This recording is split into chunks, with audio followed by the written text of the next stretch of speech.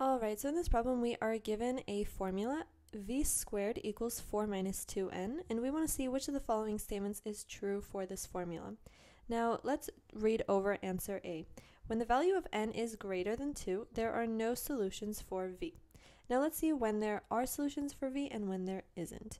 v squared equals 4 minus 2n. Now we know that any variable squared, in order for it to have an answer, has to be greater than 0. We cannot have v squared equal to negative 4.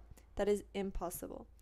Alright, so if we have v squared is greater than 0, and v squared equals 4 minus 2n, so this 4 minus 2n also has to be greater than 0.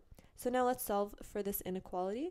We can add 2n on both sides, and we have 4 is greater than 2n and we can divide 2 on both sides. And now we have 2 is greater than n, or n has to be less than 2. All right, so now, now we know at what numbers and at what scale the v squared will have an answer. And so when the value of n is greater than 2, there are no solutions for v. Well, this is true because what we just found here is that any number that is greater than 2 will not give us a solution for v. Alright, so now let's see why B, C, and D are incorrect. B states when the value of n is greater than 2, v is necessarily negative.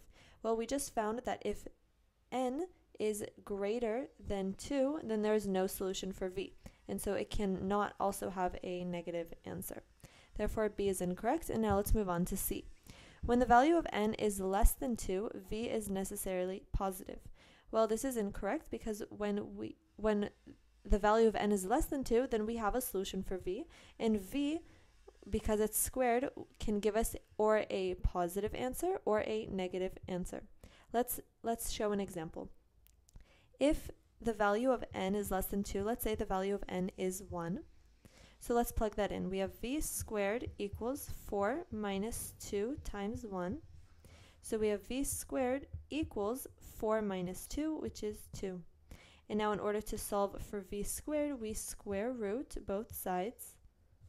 And now we have v equals plus or minus rad or radical 2.